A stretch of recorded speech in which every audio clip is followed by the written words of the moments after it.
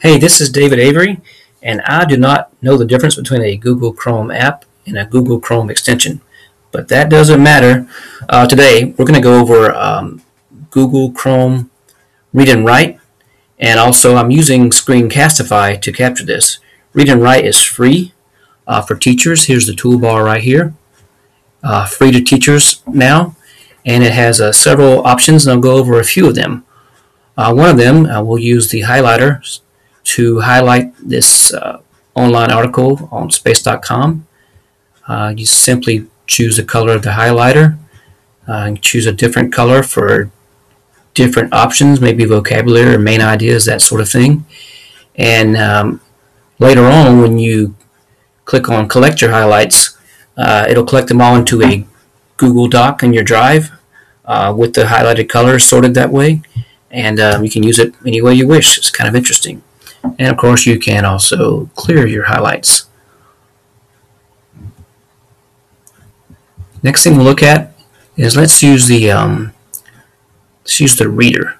The reader option, I've got it set up in uh, English and uh, on fast, but you can change it to another, another language and another speed, and also another speaker to sound different. In fact, you can choose an Australian speaker if you like.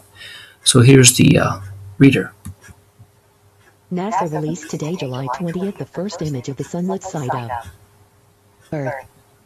Taken by the Deep Space Climate Observatory DSCOVR spacecraft from its final science orbit, and the beautiful photo has already made quite an impact. You can also choose the option that says hover speech, and it'll read the paragraph I believe that you hover over.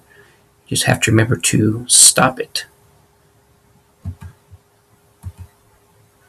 A beautiful reminder that we need to protect the only planet we have, President Barack Obama said today via his official Twitter account, at POTUS. Amazing images of Earth from space.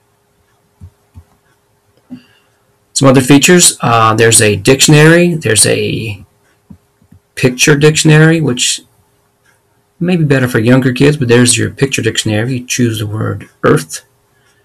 Um, there's also you can select, see, geomagnetic. You can select dictionary.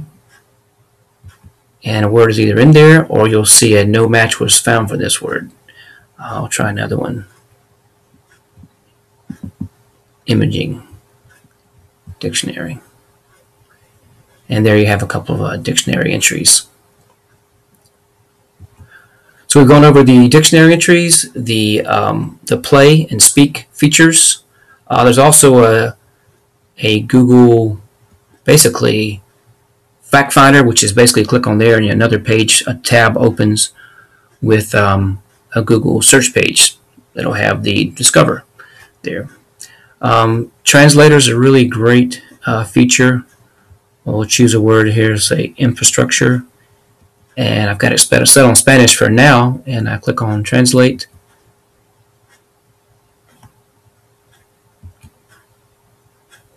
And the word will come up there. You can click on it and it will read it. Okay.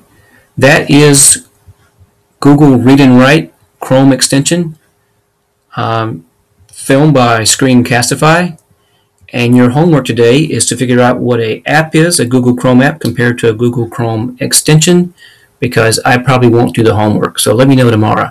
All right, thanks.